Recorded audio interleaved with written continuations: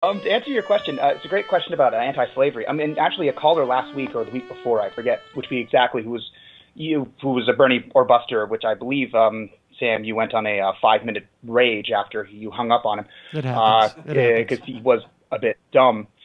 Um, and uh, he uh, made that argument about um, would you vote for an abolitionist or would you vote for an anti uh, for, for pro-slavery? And this is what you were getting at. Um, abolitionism was a fringe movement in 1860. Uh, anti-slavery basically means that you're opposed to slavery for one of a number of reasons. Usually because slavery meant the convergence of political power into the pro-slavery oligarchy, um, and uh, this was slowly morphing into uh, a, kind of a revocation of the democratic principle. It's very similar to, say, Bernard Bailyn's uh, theories about the loss of English liberty causing the American Revolution. Um, and there's this general fear that as slavery spreads into the Western territories, uh, pro-slavery states will outnumber uh, uh, free states, and pro-slavery uh, individual groups will continue to be overrepresented and have all the power in those states, and as a result, you'll have a pro-slavery oligarchy controlling the U.S.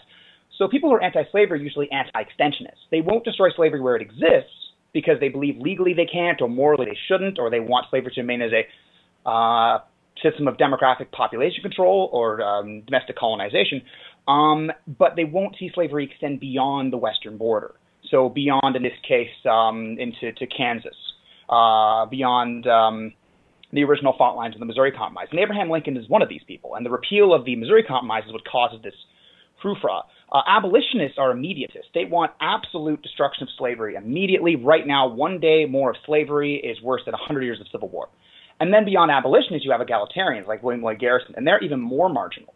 You might have an abolitionist who thinks slavery is wrong, must be destroyed, but doesn't actually want black people to be equal to white people, just thinks that slavery is wrong.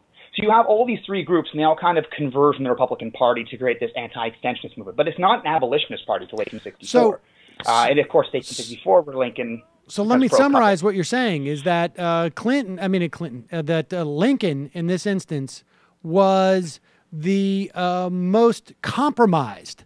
Uh, if you were someone who felt like we should have an egalitarian society relative to the institution of slavery, um, you know that Lincoln was practically triangulating at that point. Yeah, um, exactly. Uh, and, and Lincoln's views are he didn't like slavery personally, but he doesn't see how it can be destroyed. And he had two kind of fundamental points on it. One, legally, it can't be destroyed without a constitutional amendment, and that's not going to happen without two-thirds ratification of the states, and that's not going to happen with you know 15 slave states. Um, and uh, he also said uh, famously in the, the he does a lot of things in his debates with Douglas, um, usually quoted out of context. But one thing he says is, and I'm paraphrasing, uh, I cannot uh, castigate Southerners for not having a solution to a problem which I myself cannot solve. Basically, I don't know if we destroy slavery, I don't know what happens tomorrow. So even though I'd like to see it go, I don't know how to compensate for it. We have four millions of people who most of them have, have nothing beyond uh, human capital.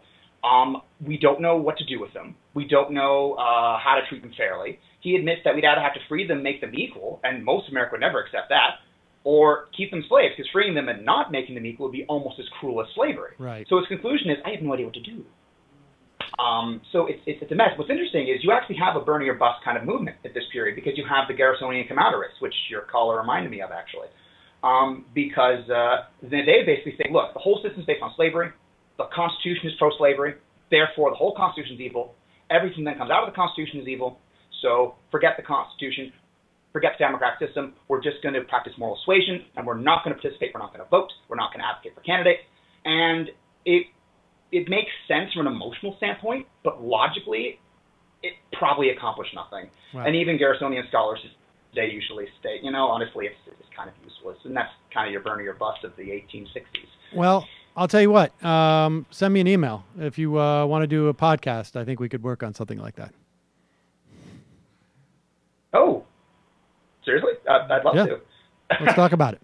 Uh, that's a really a great call. I appreciate it. Send me an email, majority reporters at gmail.com. And I love your show. All right. Bye bye. Hello, you. I'm Sam Seder. Looking for smart progressive talk that is occasionally amusing? Well, subscribe to our YouTube feed, subscribe to our podcast, like us on Facebook, and just generally enjoy us.